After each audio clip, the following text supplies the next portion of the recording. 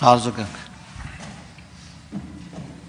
Պարոն Սիմոնյան, եթե նիստը եղել է, ես կխնդրեի, որ արձանագրությունը եթե ես չեմ սխալվում։ Ես որտեղ վստահ տարիներ են անցել, չէ՞։ Ես վստահեցնում եմ, որ սխալվում եք։ Եթե չեք սխալվում, ես ներողություն կխնդրեմ, բայց կխնդրեմ, որ արձանագրությունը ներկայացնեք։ Ճիշտ եք ասում, ենք առաջնորդում ենք Հայաստանի Հանրապետության օրենսդրությամբ եւ ազգային ժողովի որոշումով ստեղծված հանձնաժողովներով։ Նիստը դուք արեք, եթե այնտեղից մարդ չկա, կասեք դե չկա։ Լավ, մյուս կողմից էլ հիմա պատկերացրեք Հայաստանի Հանրապետության նախագահան, օրինակ абսուրդ բան եմ ասում, դա մի օր ինչ որ մի հատ թուղթ ստորագրի։ Եվ դա չհամապատասխանի օրենսդրության, ինչ պետք է համաձայնվենք դրա հետ։ Ընտեղ այդ մարդը ստորագրել է, դուք ասում եք ես դա չեմ ընդունում, իր օրենսդրությունը ես չեմ ընդունում, լավ եք անում, մի ընդունեք, ճիշտ եք անում, առաջնորդվեք մերով։ Վաղը կամ ձեզ հարմար պահի հravirեք այդ նիստը, որովհետև այն դուք չեք ընդունում, եթե չեք ընդունում, լուծարում ինչ եք ընդունում։ Այդ որն ուզում եք ընդունում եք, որ ուզում եք չեք ընդունում։ Չէ, դեռ 3 վարքան ունը։ Բայց խնդրեմ այդ 3 վարքանս ավելացրեք, որտեղ միջամտ է պարոն Սիմոնյանը։ Իսկ այդ օրինակը ես բերեցի այն պատճառով, որ նույնն է տեղի ունեցել։ Դուք չքվեարկեցիք Արցախի հարցով հանձնաժողով ստեղծել, հղում կատարելով դրա վրա։ Հիմա էլ չքվեարկեցիք Գեգամ Նազանին։ Բայց եկեք 3 վարկյանը 30 վարկյանի չվերածենք, դա մեկ։ Երկրորդը ես կորոշեմ, թե նիստ հրավիրում եմ, թե չեմ հրավիրում, դա իմ լիազորությունների սահմանում է։ Երրորդը ես արդեն իմ իմ վերաբերմունքը ասացի։ Չորրորդը, երբ որ թուղթ էիք ստորագրում, տակը ասենց մի հատ կետ գրեիք, գրեիք, այս գործում է այսինչ ժամից, այսինչ ժամը,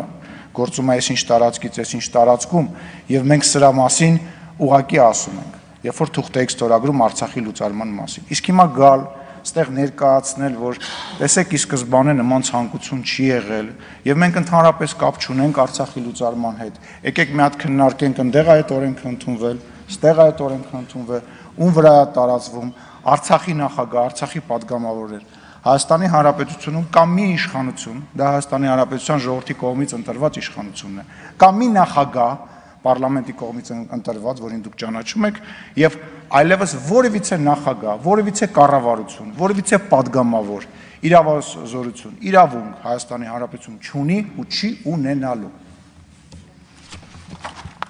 Հարցերն ավարտվեցին, այժմ մտքերի փոխանակության համար առաջարկում եմ հերթագրվել։ Հերթագրում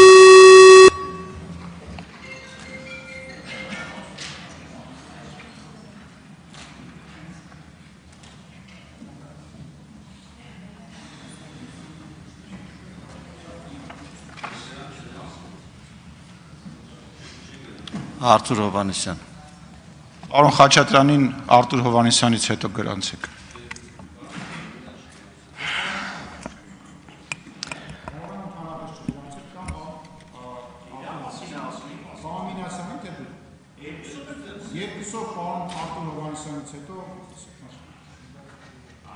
Շնորհակալություն ազգային ժողովի մեծարգո նախագահ արգելի գործընկերներ, սիրելի քաղաքացիներ։ Եթե դուք ասում եք, որ Արցախի լուծարման փաստաթուղթը վավեր չի,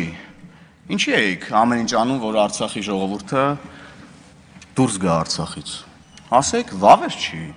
Ինչի եք համոզում, որ հանձնեն Արցախը, ինչի գնացիք դաշնակ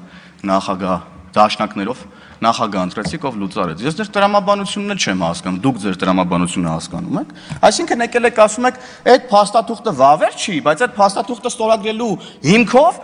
Արցախի ժողովուրդը բռնի տեղահանվել է ձեր գործողությունների արդյունքում։ Մեզ հիմա անդիմությունը առաջարկում է, որ մենք հանդիպենք Արցախի Լեռնային Ղարաբաղի, ուրեմն падգամավորների հետ։ Ես ցանկություն չունեմ անznապես օրինակ հանդիպել Լեռնային Ղարաբաղի падգամավորների հետ։ Դուք լսել եք Լեռնային Ղարաբաղի падգամավորները ինչ լեքսիկոնով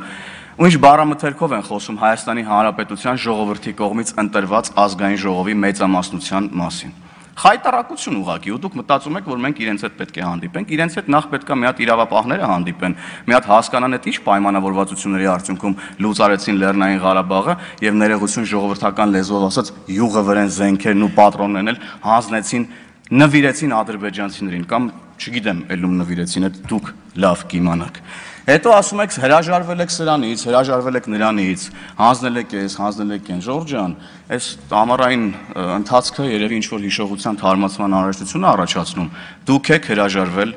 Լեռնային Ղարաբաղից, դուք եք պալատական հեղաշրջում արել եւ վաճառել Լեռնային Ղարաբաղը ու ամեն ինչ արել եք որ Լեռնային Ղարաբաղի ժողովուրդը բռնի տեղահանվի ու գա ու զրկանքների միջով անցնելով գա ստեղ ձեր սիրելի Արցախի նախագահն էլ արդեն բազմիցս ասել ենք ուղղաթիռով բերեցիք ստեղ չգիտենք էլի ինչ պայմանավորվածությունների արդյունքում Այսքանը կարծում եմ ու մեկ էլ այդ լուրջ չի էլի մի process-ի արդյունքում 140.000 120-ից 120.000-ից ավելի Լեռնային Ղարաբաղի բնակիչի բռնի տեղահանել հետո գալ այստեղ ասել դա վավեր չի լավա չեք ասում Շահրամանյանն է մեջքի հետևում մատերով խաչ էր արել լուրջ չի էլի